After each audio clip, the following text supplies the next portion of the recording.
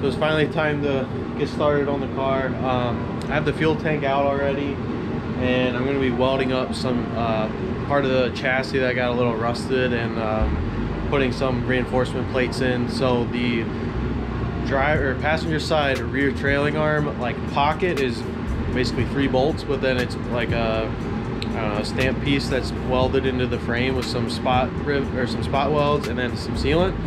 Well, some of those came out um, at one of the Riverside events and the rear trailing arm was basically like barely held in, which I didn't realize until at the end of the event. Uh, so anyways, um, I've already reinforced it partially, but I finally dropped the fuel tank and now I can go all the way in around the rest of the, the chassis there just to double check that it's all good to go. And then I have these, um, I think I got these from uh, Garagistic or something like that. And they're just basically plates to help strengthen the pocket again, just so anything else doesn't go out. So uh, right here is where I'm talking about.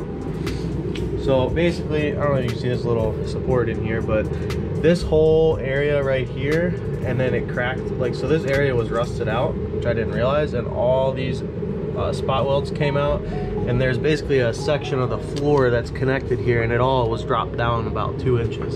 So I'm fixing all that, and I gotta rewrap the car and all that kind of stuff, but down in here, if you can see where I ground down, um, I have to fix some of this um, spots and then I need to re-weld some of them because I kind of did them in a rush just to get the car working for one event. Um, but anyway, so that's what we'll be doing today and uh, we'll see how it goes.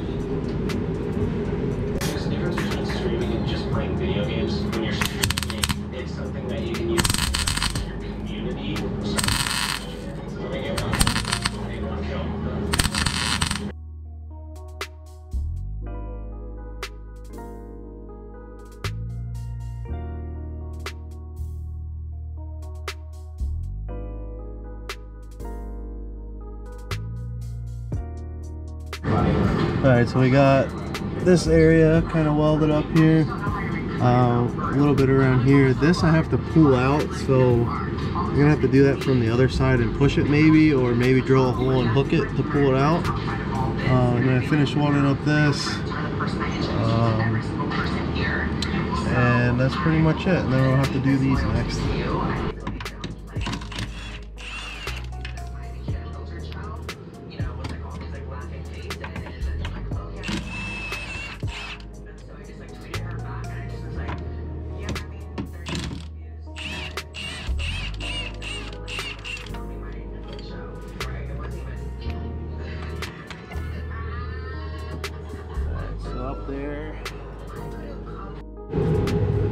So right up in there is we're gonna be putting the plate. I gotta uh, grind down that paint that I added. Um, and then I'll put the plates in, see how they fit, and then we'll just do a couple stitch welds around it basically. So. Alright, so uh, I spray painted the one side of this as well as the underside here.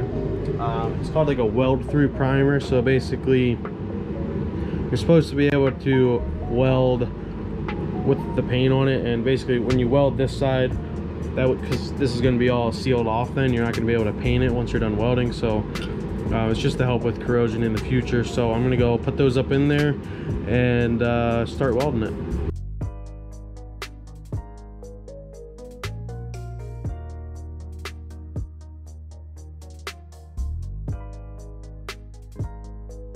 All right so as you can tell, I'm not the world's best welder, but the plate is definitely uh, welded through all the plugs and then a couple spots around the edge. I had to grind a little bit of weld because when this arm goes up here, it was touching on some of them. So I'm gonna paint that. You won't see it or anything, but it's definitely a lot more uh, structurally sound because I could tie in the plate with this box over here.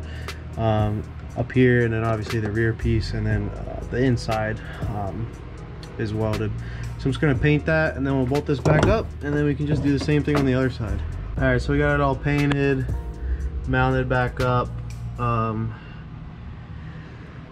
it's definitely not the prettiest, but it will certainly function as what I need it to do. So that works. I'm gonna do the other side. Probably won't video that one because it's the same process. Um, I don't have any repairs to make, but I just have to do the reinforcement plate on that side.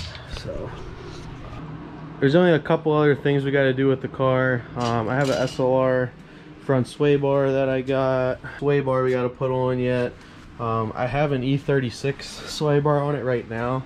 That's just connected to the uh, lower control arms there. Is the FDF kit.